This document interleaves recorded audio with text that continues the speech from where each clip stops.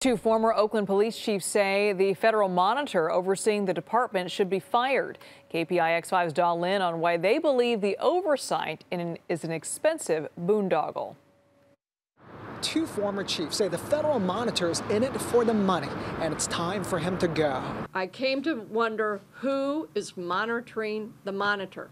Former Chief Anne Kirkpatrick blasted federal monitor Robert Warshaw, saying he has no interest in getting the Oakland Police Department out of federal oversight because he benefits from it.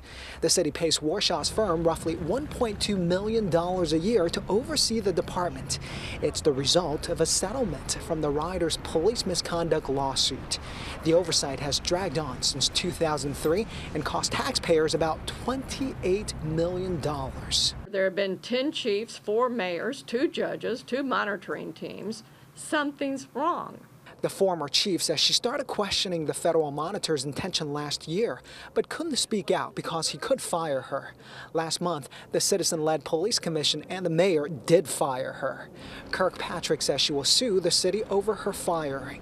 But more importantly, she says she owes it to Oakland residents to speak out about Warshaw. Your officers are spending more time on administrative tasks than they are able to be out there and fighting crime. It was very difficult to be in compliance and also fight crime. We had more people in in internal affairs than we had in homicide. Retired Chief Howard Jordan hopes federal authorities will fire the monitor. But civil rights attorney Jim Chanin says Warshaw is not the problem. He says the police department was so close to full compliance. Just three items left.